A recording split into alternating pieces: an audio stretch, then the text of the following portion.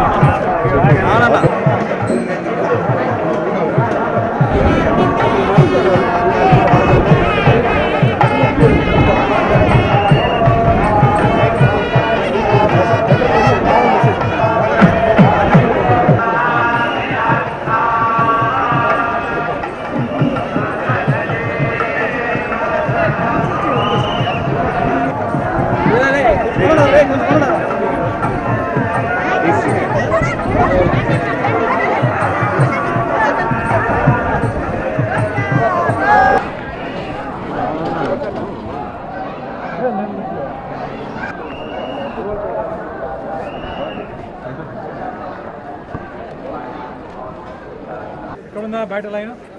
Sir లేబాక్షి వస్తాను లోపలికి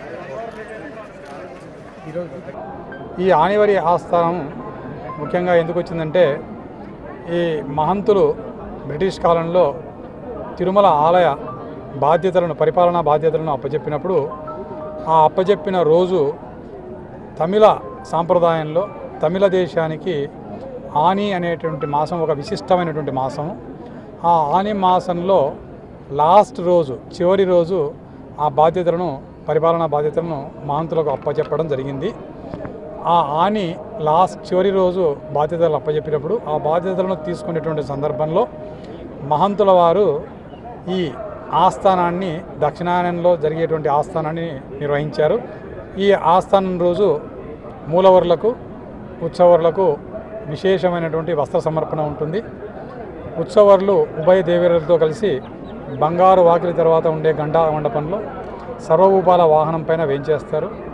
వేయించేసిన తర్వాత విశేష పూజలు జరిగిన తర్వాత పెద్ద జియంగారులకు ఈ లచ్చిక లచ్చన అనేటువంటి తాళాల గుత్తిని పెద్ద జియంగారులకు అందజేస్తారు. తర్వాత చిన్న జియంగారులకు అందజేస్తారు. తర్వాత కార్యనిర్వహణ అధికారికి కూడా అందజేస్తారు. అంటే పూర్వకాలంలో మహంతుల కాలంలో ఎప్పుడైతే ఛార్జ్ తీసుకున్నారో అప్పుడు ఈ వార్షిక సంవత్సరం బడ్జెట్ వార్షిక బడ్జెట్ సంవత్సరం అంటే ఈ ఫైనాన్షియల్ ఇయర్ అంటాం మనం. ఫైనాన్షియల్ ఇయర్ ఆ రోజే స్టార్ట్ అయ్యేది. కాలక్రమేణా ప్రభుత్వం ఏర్పడిన తర్వాత టీటీడీ బోర్డు ఏర్పడిన తర్వాత మళ్ళీ ఏప్రిల్ ఫస్ట్ నుంచి మార్చి థర్టీ ఫస్ట్ వరకు ఈ వార్షిక బడ్జెట్ను నిర్వహిస్తాం. ఈ ఆనివర ఆస్థానం రోజు మనకు శ్రీరంగం నుంచి వస్త్రాలను స్వామివారికి సమర్పించేటువంటి ఒక సాంప్రదాయం కూడా ఉంది.